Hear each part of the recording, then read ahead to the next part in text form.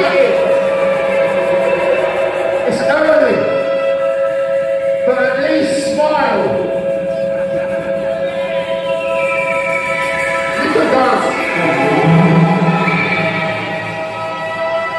can dance.